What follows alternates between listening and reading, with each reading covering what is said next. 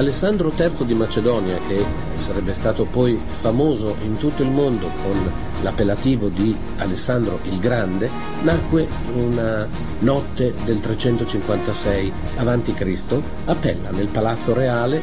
Il bambino sicuramente fu affidato alle sue nutrici perché venisse lavato, profumato, fasciato e preparato per la vita. Una vita straordinaria, una delle vite più avventurose che sia mai stato dato a un essere umano di vivere, appunto quella di Alessandro.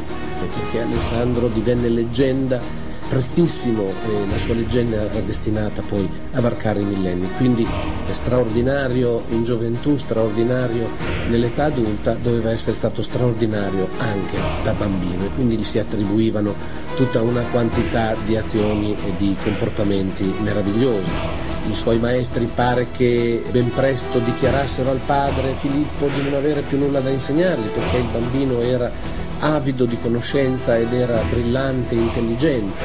Si raccontano episodi anche della sua sensibilità, per esempio. Si dice che una volta entrato in un santuario, Alessandro avrebbe cominciato a gettare incenso nel braciere con grande prodigalità. Il maestro Leonido lo avrebbe ripreso userai con tanta abbondanza eh, una sostanza tanto preziosa quando avrai conquistato i paesi che la producono. Il bambino invece avrebbe risposto al suo maestro che non bisognava essere avari con gli dèi, che bisognava invece essere generosi per poter poi ottenere il loro favore.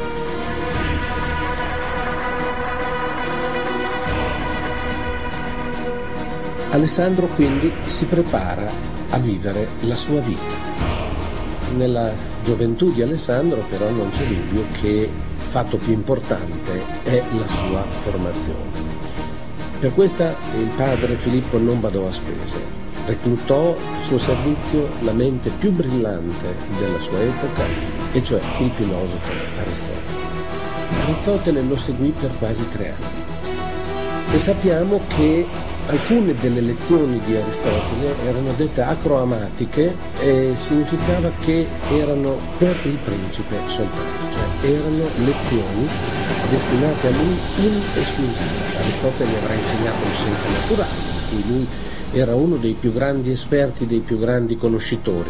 Certamente gli insegnò le costituzioni delle principali città greche. Aristotele faceva collezione di costituzioni perché ovviamente questo serviva per la formazione politica del suo allievo. Ecco, forse Aristotele gli insegnò che la Terra era rotonda, per esempio. Aristotele lo sapeva che la Terra era rotonda e ne portava le prove, diceva che l'ombra della Terra sulla Luna durante le eclissi è rotonda, che quando le navi si allontanano dal porto prima scompare lo scafo e poi scompaiono gli alberi e quindi la Terra deve essere curva.